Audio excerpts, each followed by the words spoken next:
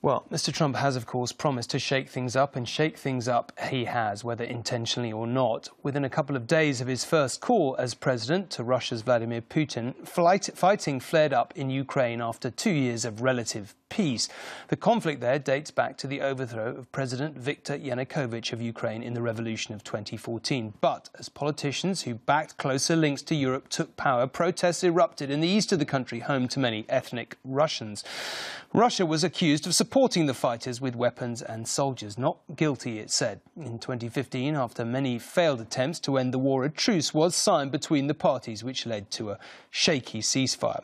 Some of the fiercest fighting in the last week or so has centred on the government-held town of Avdiivka.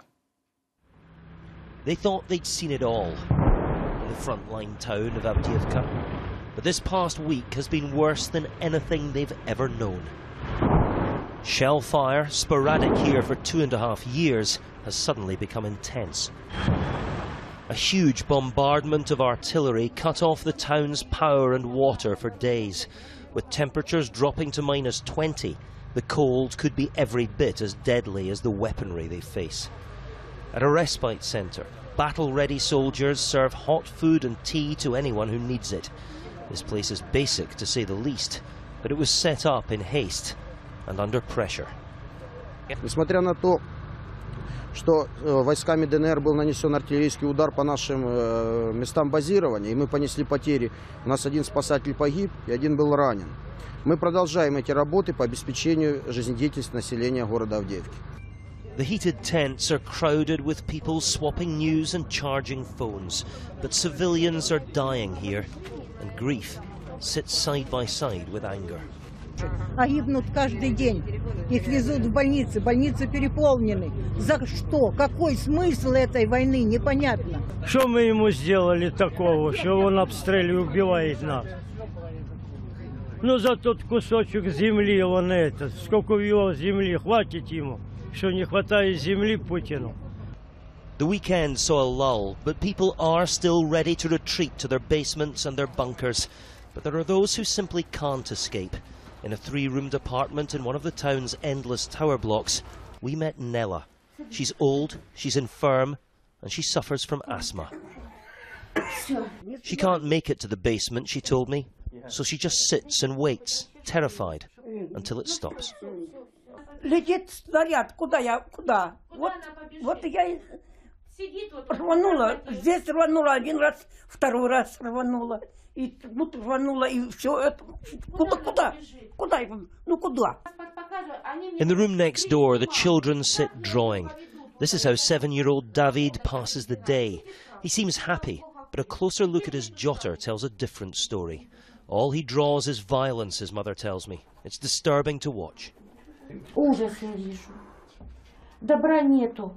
Просто одна война. В рисунках одна война. Одна война. Просто одна война и все. Нету ничего положительного, нету ни солнца, нету ни деревьев, нету. Просто танки, машинки, вот это вот, вот автоматы. Одна война. У них травмирована уже психика у этих детей. Behind all of the immediate problems the people here face, there is another grinding concern.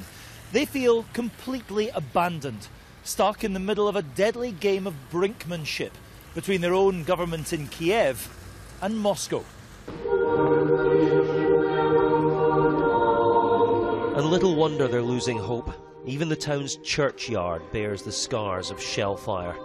Nowhere is sacred in this conflict.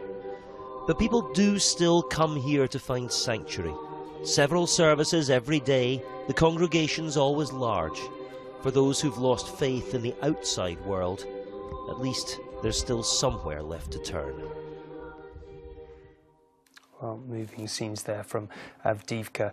Martin is now uh, in Kramatorsk, uh, and in our studio here is our international affairs uh, editor, Rageh Omaar. Let's go to Ukraine first. Um, Martin, the fighting goes on tonight with reports of more shelling. Yeah, that's what we're hearing, Tom. Avdiivka is just a few miles down the road from here, and we're hearing there was shelling this afternoon and this evening. I mentioned in my report there had been a lull at the weekend. That seems perhaps uh, to be coming to an end.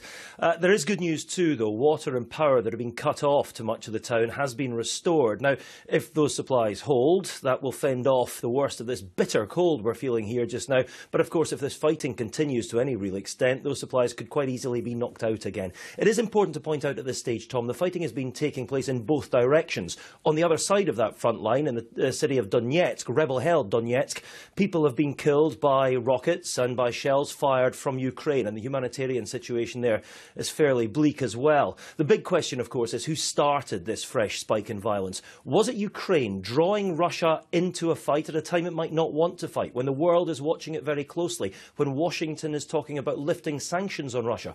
Or was it Russia just demonstrating its might, reminding the, the, world how strong it is when so much is up for grabs? For the people of Avdiivka, that first scenario, Ukraine starting this, is, is beyond unpalatable. It's unthinkable because that would mean their government effectively sacrificing lives in the town to score political points. We don't know who started it for sure, Tom, and the fact of the matter is we may well never find out.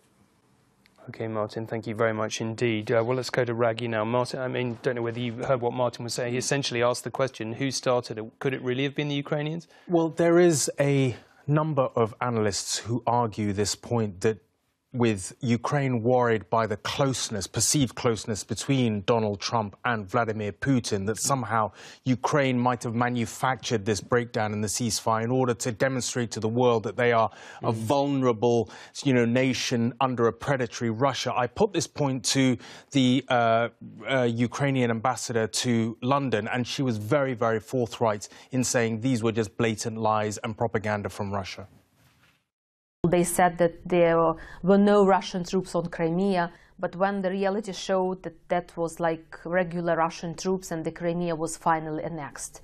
So I don't see why at this time we should just like by surprise believe Russians. And she made the point that although, you know, people may be arguing this, Russia has a long history, as she put it, of, you know, um, blindsiding the rest of the world in believing its case that there were no, you know, links between the separatists or Russian rebels uh, and, uh, and uh, Moscow. And she also said actually there'd been a phone call between President Poroshenko and Donald Trump at the weekend on Saturday. When I pressed her on that, she said that actually there'd been a lot of positives in that phone call, despite what everybody else might have thought between the closeness between Putin and Trump. And Mr. Trump uh, said that he regarded this as a conflict between Russia and Ukraine and not somehow some kind of civil war within Ukraine, and that Mr. Poroshenko was, had been invited to Washington. So some positivity there. Okay, Reggie, thank you very much uh, indeed.